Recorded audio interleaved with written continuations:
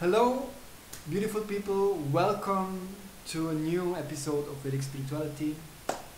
Um, it has taken almost two months since I've uh, did my last video, and the reason is that I'm trapped in the rat race of Western society, and just simply do not have time to devote myself to new videos or astrology at large even. So, however, um, I was requested for uh, giving some interpretation of the upcoming solar eclipse. Uh, what screen you actually seeing? Let's look at it like this. So we are we will talk about the solar eclipse on the 14th December 2020 and to analyze an eclipse, we have to understand that the eclipses they're coming in cycles. And this is a Babylonian systems, and these cycles are called Saros cycles. And what these cycles will bring, so what is this, um, this, what impulses are set free by this eclipse? We have to understand the context of the cycle. So we have to analyze the very first eclipse of that cycle to understand what the cycles is about, what the cycle is about. So, therefore, we are looking at this chart here. This is from the 17th April 1624. And also one in interesting thing uh, or important thing to note in regard of these solar cycles is that the signification is very uh, mi minimal. It's just in the form of a seed in the very beginning. And as the cycle matures, the eclipses will become more intense, it will become full eclipses, and also this signification will mature more and will exhibit its meaning or uh, results more. So what this cycle is about. So that is my personal interpretation using Brighu astrology techniques. And yeah, let's get get into it. So there are three points actually that I just want to talk about, which uh, like revealed themselves to me and that is that uh, we have the ka the karana is uh, naga. So karana means literally it means reason. So the karana is uh, one part of the five limbs of time panchanga, and it expresses the reason of birth. What is the why we came here what we are supposed to do here or what's the the unfulfilled desire that we came to fulfill? So naga Nakshat karana has to do with um, it's Naga means snake, so it's reptilian. It has to do with mystical powers, with secretive societies, with uh, underworld stuff, and it's ruled by Rahu also, who is uh, significator of these things.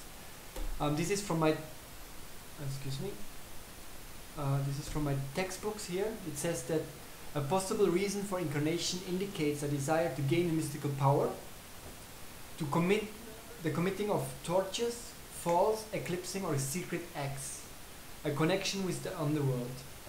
So, and um, the sun and the moon and Rahu Ketu, they are the main actors of an eclipse. So it's between them. The sun and the moon, they are the significator of the self. And they are here in the 11th degree of Aries and that degree is connected to the Vahi Muhurta, which is about transportation, going in a direction, going in a certain development. And now Rahu Ketu come, they eclipse, and they are in the Ratrinath, in the 24th degree, which is connected to Ratrinath Muhurta. So one very interesting thing to note regarding Muhurtas, or also Nakshatras actually also, but uh, especially Muhurtas, that from the first to the 30th Muhurta, they are telling the tale of life. How we are born and connected to our friends, our ancestors, and our childhood. So it it is an ongoing story. Until we die, we meet the superintendent of death, Yamaraj, the Yamamuhurta. We are getting the results of our deeds, good and bad, and we are taking place in in the womb of a new mother, where our body is built again and in the end we will be forced out of the womb into the world again. And we start again the cycle with the first muhurta. So these muhurtas they are the 20 they're the 30 if you divide a day into 30 30 parts this is 48 minutes each muhurta. So each day with the sunrise to the next sunrise they're going through these stages like we're going from birth to death to rebirth to taking shelter in the womb of a new mother. So this tale is every day is going from sunrise to suns to from sunrise to sunrise. In the same way, also the planet, as he enters a, a zodiac and travels from the from zero degree up to the 29.9999 degree,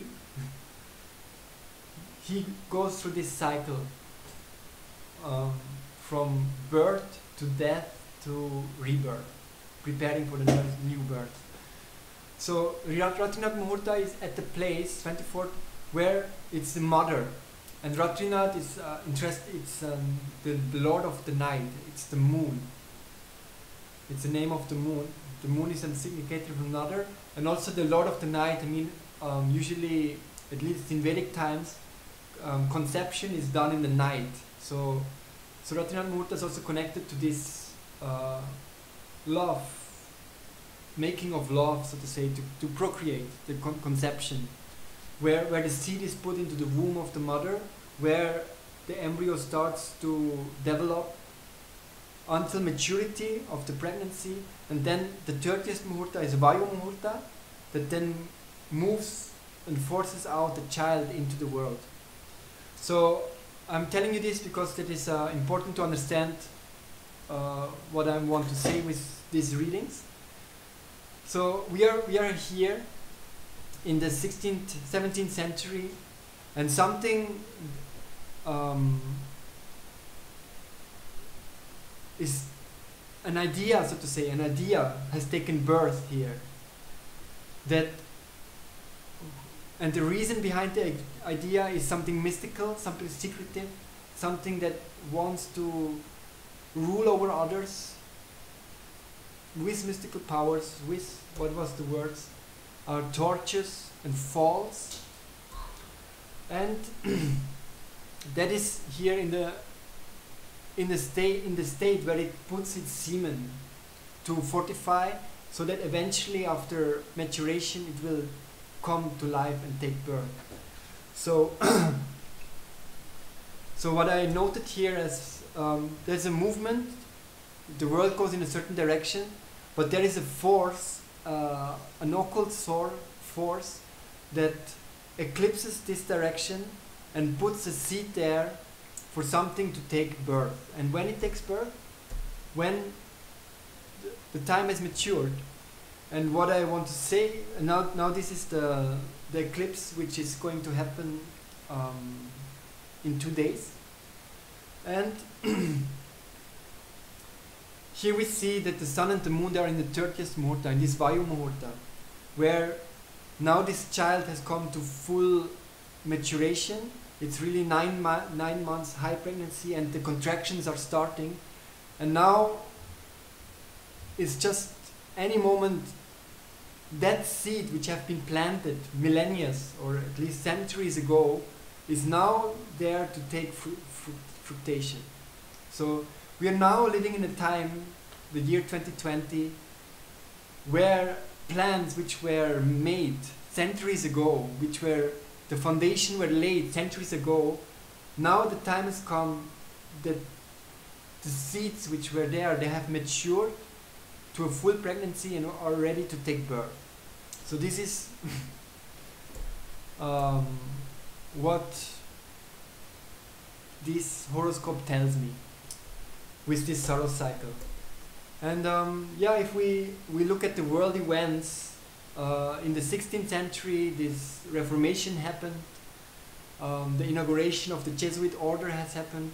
And those who know something about that, they know that they have taken a lot of influence in many world events and have been orchestrating many, many things over the centuries. And also they know that they have a specific plan that they want to manifest and it seems that now their plans have to come to a point where they really go all out. and that that we can see also from Rahu Ketu. This time it's again, it's uh, again confirmed with the Naga Karana is again here. So so the reason of action here is again a gain of mystical power, power over others in a secretive way, not not respecting the the virtue of life, but being ready to do torturous acts. And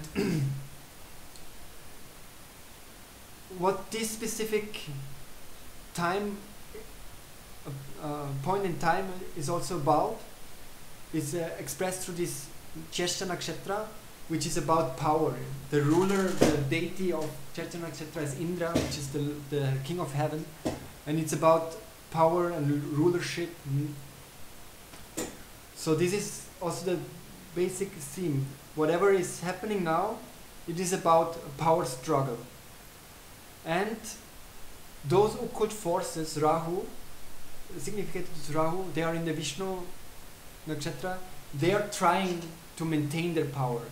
So whatever is or orchestrated at the moment with the elections in the US, with uh, the lockdowns all over the world, the, all these things are orchestrated in order to for these secretive societies and secret occult forces that are trying to bring their plans to fructification or to full manifestation to maintain the power. Yeah. Yes. Um, so now is the so I um, note down to these few things But the underworld is trying to maintain their power and now the big question is uh, some kind of bird and new bird, new new life is going to happen now. The world will not be the same as it was the last decades. The coming decades will be so different. So is it good or bad? So that is the big question and that we are going to, I will try to look into that in the next video. So therefore I suggest you very much that um, you subscribe to this YouTube channel, you put some likes and you comment something. So if I get enough feedback, enough likes to feel motivated, I will go and answer this question in the next video. So show me some love, show me some attention by subscribing, liking, sharing. Please share it to everyone you might think of that is interested in this type of, uh, in this subject matter. And um, if you're watching this on Instagram, then please head over to my YouTube channel and subscribe there. Alright, so um, there of course, this is just the basic theme I want to talk about. There of course we can talk about all the other planets also, but um, that will be hours and hours we have to talk. I've done some notes, but I, am not going to talk about it now. Um, yeah, one thing more I have to say is that uh, the aspects depend on the place you are in the world because um, if you're in Berlin, for, ex for instance, in Europe, the lagna will be different than if you're in the US. And in both cases, the lagna um, of the US, this is Washington here, um, it is in Cancer, will make the eclipse in the 10th house. So it is very much affecting the, the government the same here. The Lagna is uh, Aquarius for, for the US. So the whole thing happens in the 10th house. So therefore, these struggles, they're becoming very much visible to one, because it's in the 10th house, it's in the in Vyomasthana, in the, in the sky house, where it's visible for everyone. At the same time, it is just concerning the government. So therefore, these struggles now going on in the US government between the opposing parties um, yeah. Therefore, it's seen also here in this eclipse. And interestingly enough, on the 1412th is now the big show, big showdown, where the electoral, electoral, anyway, whatever college is um, giving the final votes. So, um, yeah. and for Germany, Europe, like here in this, it is in the sixth house. So it is more about the common man. the common worker, the working class, who are affected by this. And here it's in the seventh house, so it's more the relationships and stuff. So, however, um, let me know I should continue and make a second part where we will discuss about whether we're going to the new world order will be a benevolent new world order or it will be an enslaving new world order. Whether the light forces will win or the dark forces will win. So thanks for listening. Thank you for your time. Much appreciated. See you later